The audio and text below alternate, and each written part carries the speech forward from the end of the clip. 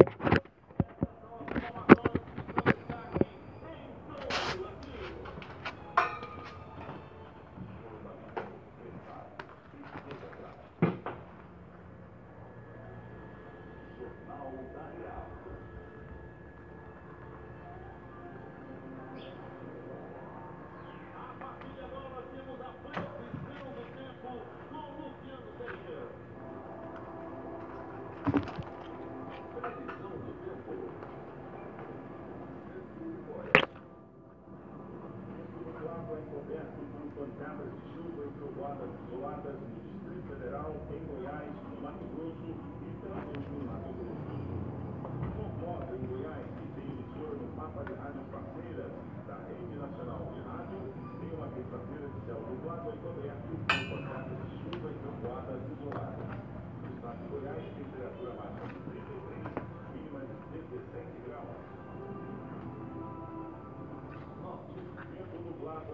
encoberto com pancadas de chuva e trovoadas isoladas no Amazonas, Pará, Amapá, Acre, Rondônia e Tocantins. Esses estados com chuvas e trovoadas isoladas.